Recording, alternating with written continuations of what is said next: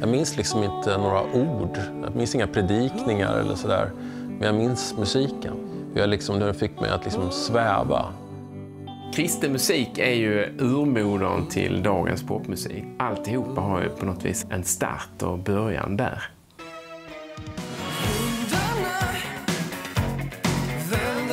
Alltså kyrkan har betytt otroligt mycket för, för svenskt eh, musikliv. Jag skulle vilja säga att några av de absolut bästa musikerna vi har i det här landet kommer från, den kulturen. Jag tror att det är jätteviktigt att det finns andlig musik. Och Jag tror att all musik är andlig. Och jag tror ju personligen att musik är en Guds gåva till människor. Och när jag spelar så står Elvis en bit bort. Aha! Och så tänker man, händer det här på riktigt? Men det gjorde det.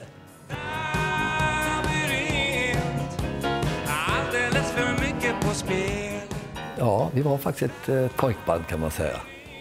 Med allt vad det innebar. Ända från den urgamla svenska hiten O store Gud fram till i våra dagar så, så har det funnits sjukt mycket bra musik i kyrkan.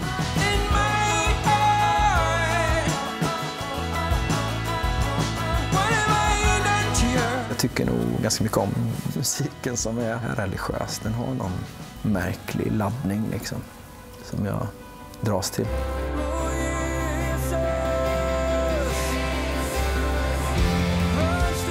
Kyrkan runt om i världen, alla de där hundratusentals rummen som finns runt om i världen är ju som jättehögtalare för att sprida vidare vår typ av musik.